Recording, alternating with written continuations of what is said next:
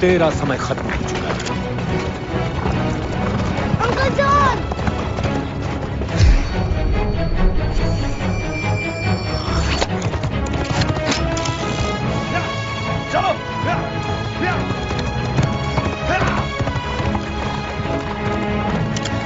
बहुत जल्द लोग भूल जाएँगे कि